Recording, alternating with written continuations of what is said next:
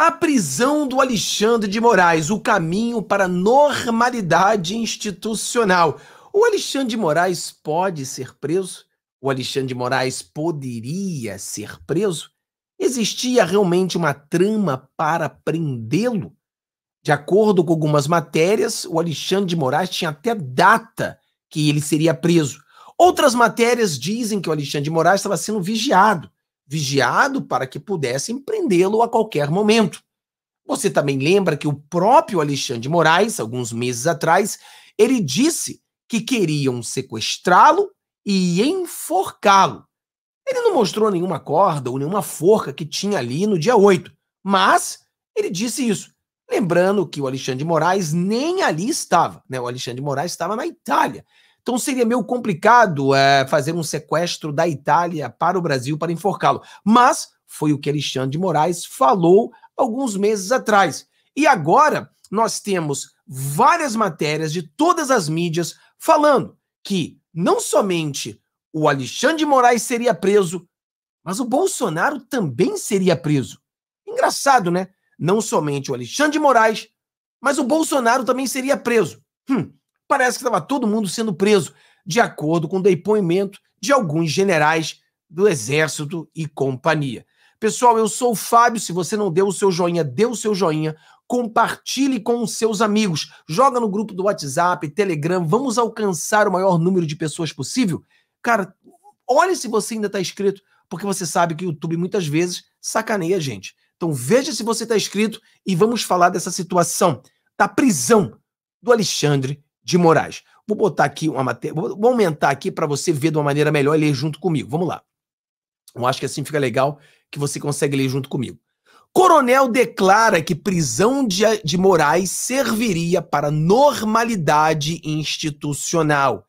Então, o que o, o coronel diz, disse que se o, o Alexandre de Moraes for preso, normalidade volta. Quer dizer, era uma coisa importante. A Polícia Federal tentou obter de militares das Forças Especiais do Exército, os chamados Kids Preto. Pessoal, esse Kids Preto é uma força especial, tá? Soldados bem treinados, etc e tal. Detalhes sobre o plano de golpe de Estado que teria sido organizado pelo presidente Jair Bolsonaro. Os interrogados admitiram encontros com ex-ajudante de ordem de Bolsonaro, o tenente-coronel coronel Mauro Cid mas disseram que foram para tratar de outros assuntos. Peraí. Então já começou aqui dizendo que foram tratar de outros assuntos e não de golpe. Foram tratar de outras coisas. Mas vamos lá, vamos entender.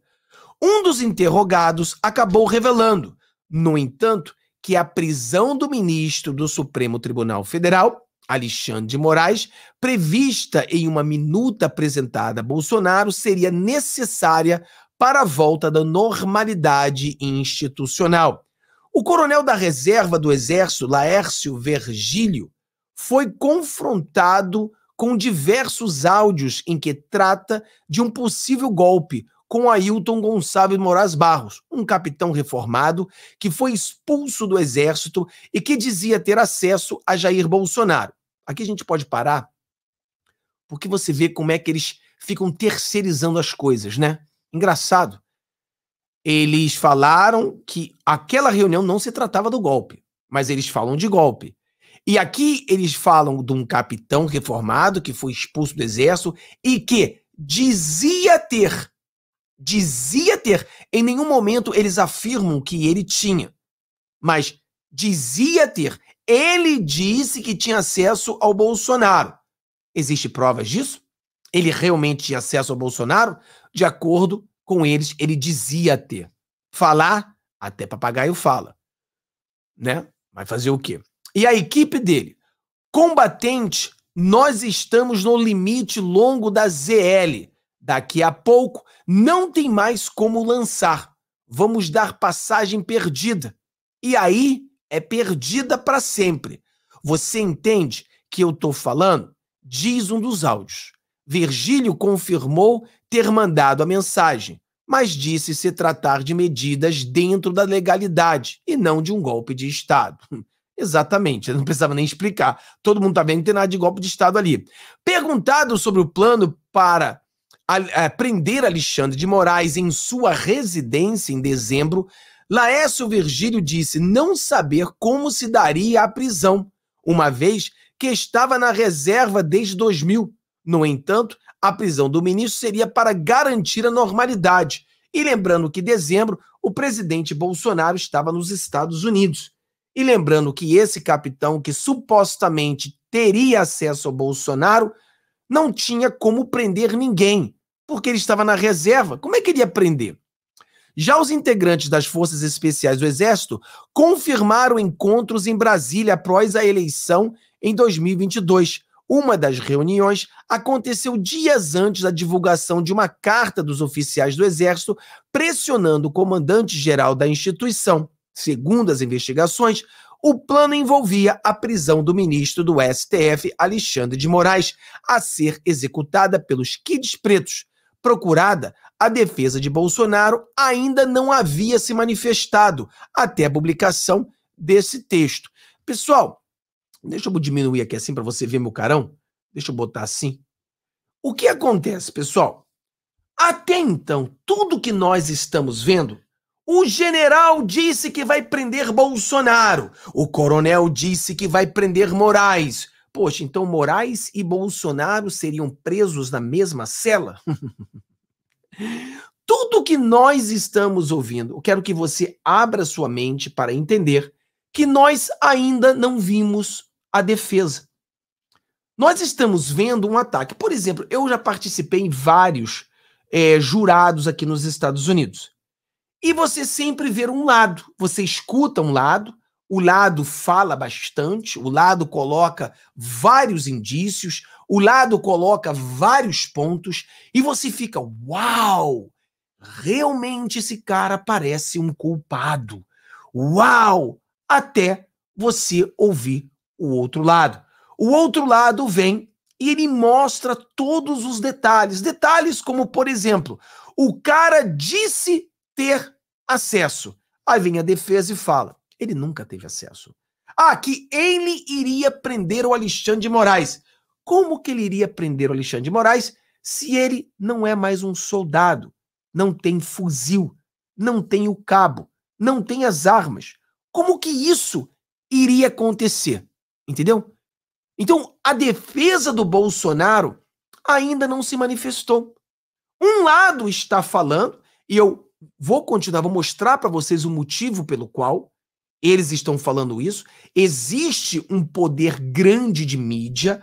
A visão da mídia foi como a jornalista da Globo disse claramente que o negócio é convencer a população de aceitar a prisão do Bolsonaro. Então, nós vimos a lista, e vou mostrar para você mais uma vez, das empresas que têm sido pagas pelo governo Lula essas empresas pagas pelo governo Lula, coincidentemente, todas elas não param de falar da prisão do Bolsonaro. Não param. Não falam de nada mais senão a prisão do Bolsonaro, o depoimento que Bolsonaro fez isso, Bolsonaro fez aquilo. Em nenhuma dessas mídias eles levam alguma pessoa para tentar defender o Bolsonaro para tentar mostrar o contraditório. Não, todos falam a mesma coisa. Eu falei para vocês hoje que mais uma das jornalistas ali da, da, da Globo disse que ela teve que mudar a narrativa. Ela não pode continuar com a narrativa falando sobre a questão da Petrobras. Então você vê que a narrativa, ela é passada. Nós não podemos continuar com a narrativa. Qual a narrativa? A narrativa dada pelo governo Lula. Ela não pode continuar com essa narrativa. Nesse caso aqui, eles continuam com a mesma narrativa. Vamos lá. Ao menos três militares foram questionados sobre o assunto. O coronel Cavalaria Bernardo Romão de Correia Neto, que era assistente do comandante militar sul integrante dos chamados Kids Pretos, o general Estevan Teófilo, ex-chefe do comando das operações terrestres e chefe dos KIDS, e Cleverson Ney Magalhães, coronel do Exército e assessor de Estevam Teófilo. Todos eles negaram que os encontros tivessem teor golpista. Então, a revelação bombástica O depoimento bombástico é alguém disse, ouvi dizer, ouvi alguém que disse, um amigo do amigo disse que o Alexandre de Moraes seria preso. As reuniões, nenhuma delas falava de golpe. De golpe. Ué, peraí. Então, é um depoimento que supostamente havia um golpe, mas todos eles afirmam que não era uma reunião, não tinha nenhum é, é, teor golpista. A primeira reunião foi no dia 12 de novembro de 2022, pouco depois do segundo turno das eleições daquele ano, quando Lula derrotou Jair Bolsonaro. O encontro aconteceu no apartamento do ex-candidato e vice de Bolsonaro, o general Braga Neto, no bloco B, blá blá blá blá blá blá. É o mesmo prédio onde mora o ex-ministro da Defesa, o general Paulo Sérgio Nogueira, que ficou em silêncio no depoimento da PF. Participaram desse encontro, entre outras pessoas, a mulher do general Vilas Boas, Maria Aparecida. A reunião mais importante, no entanto, foi no salão da festa do Bloco 1 da Papapá, na Asa Norte. Vários kids pretos confirmaram ter participado do encontro com Mauro Cid, inclusive é, Bernardo Romão e Cleverson Ney. O encontro aconteceu na noite do dia 28 de novembro, pouco depois da reunião na casa de Braga Neto, Dois dias depois, um grupo de mais de mil oficiais divulgou uma carta dos oficiais superiores da ativa do, ao comandante do Exército Brasileiro. Estamos atentos a tudo que está acontecendo e que vem provocando insegurança jurídica e instabilidade política social no país. Ademais, preocupa-nos a falta de imparcialidade na narrativa dos fatos e na divulgação de dados por parte de diversos veículos de comunicação diz um trecho da carta. Perguntando sobre o assunto, Estevão Teófilo disse considerar a carta um ato de insubordinação. É aquela coisa, né? Você tem a outra matéria que eu li para você ontem, que o, o, o general disse que prenderia o presidente Bolsonaro. Então você pensa, né? Prender o Bolsonaro. Peraí, se Bolsonaro tivesse uma tentativa de golpe e eu prendo você. Então a gente pensa assim: peraí. Então se houvesse tentativa de golpe, Bolsonaro seria preso. Então, se Bolsonaro não está preso, porque não houve tentativa de golpe? Mais ou menos isso, né? Ou não? Como é que vai uma tentativa de golpe? Ele seria preso, não foi preso, então não houve golpe. Ou então, ele está prevaricando. Entendeu? Subordinação, então, não quer obedecer o Bolsonaro, então Bolsonaro o prendia. Então, se Bolsonaro quiser. É bem assim. Quem é o chefe das Forças Armadas? Bolsonaro. Se Bolsonaro quer dar golpe e ele fala com o general, e o general diz que não, o presidente dá voz de prisão e prende ele por insubordinação. É bem simples. Claro isso não existiu, porque se existisse, o general falou que iria prender o Bolsonaro. Então, a palavra do, do, do general era: se Bolsonaro tivesse tentado dar um golpe, eu teria prendido ele. Eu dei voz de prisão, eu vou te prender. Então, tá provado. Bernardo Romão é coronel da Cavalaria do Exército. Até a operação da PF Tempos Veratis, era aluno do Colégio Internacional de Defesa em Washington, nos Estados Unidos. Antes era das Forças Especiais do Exército, que integrou 2000 e 2019. Até maio de 23, atuou como assistente do Comando Militar Sul. A PF, ele negou que a carta tenha sido tratada durante o encontro. Olha aí, mais uma contradição. É um poço de constatação. O general, ele lembra da fala, mas esqueceu o dia. É um poço de contradição. Quando falando, quando vier o lado da defesa agora falar sobre esse depoimento, porque a defesa não teve acesso aos depoimentos, esses depoimentos o Alexandre de Moraes só liberou porque a mídia já tinha conseguido os depoimentos, quer dizer, a mídia já sabia de tudo.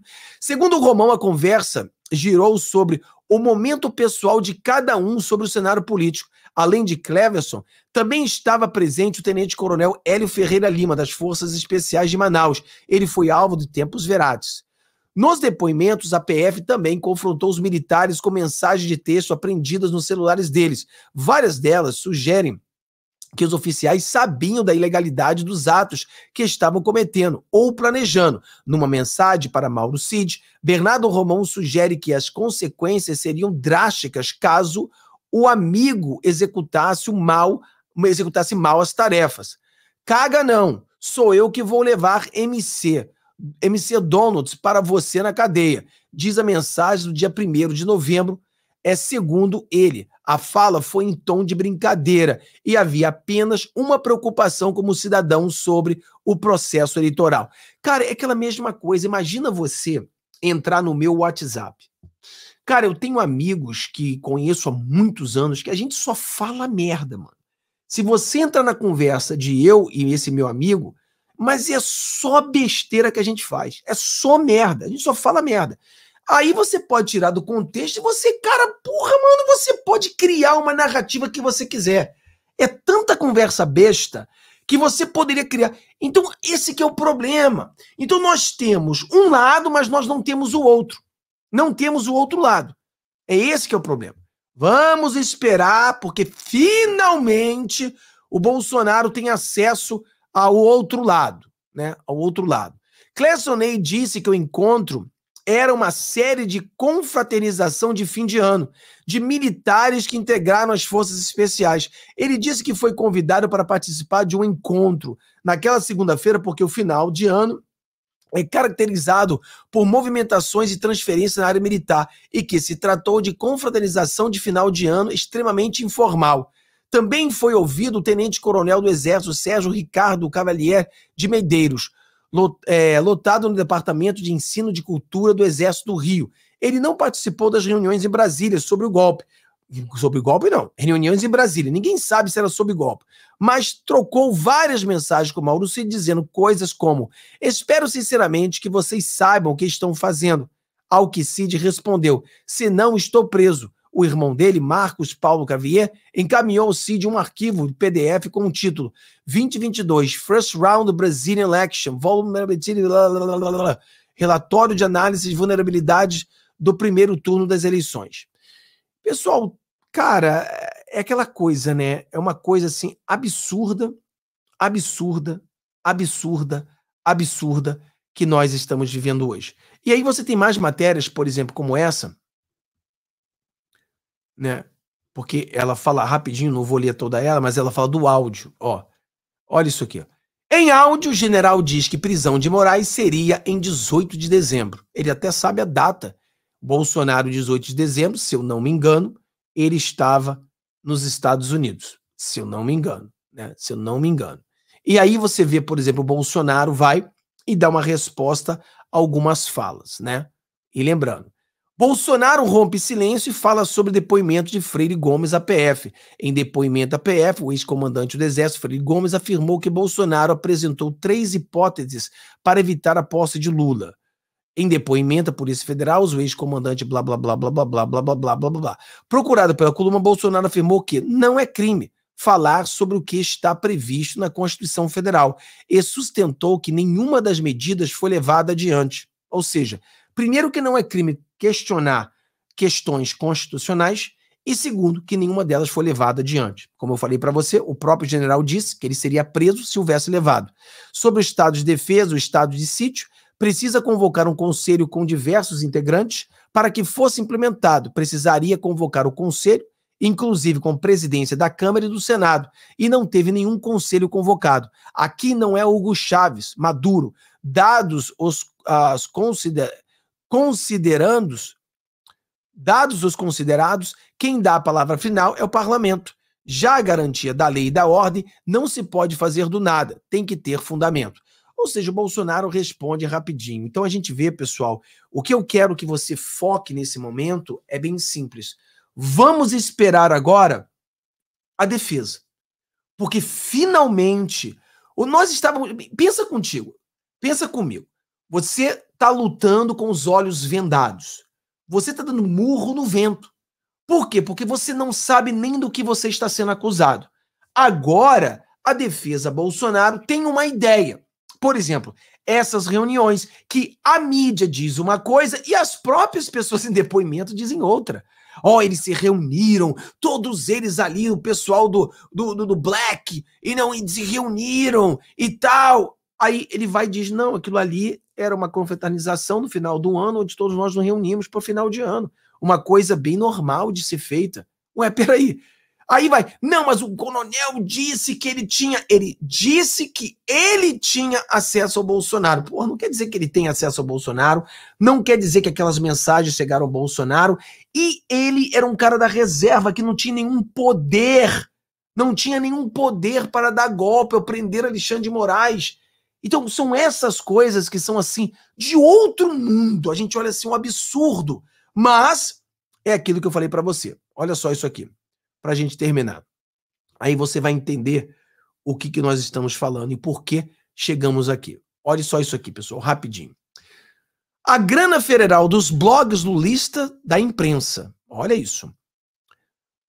Vamos lá. Lula, direita avó. Lula reabriu a torneira para os blogs que ecoam as narrativas do seu governo. Em 2023, o primeiro ano do atual mandato, o pódio das verbas de publicidade federal e rede lulista ficou assim.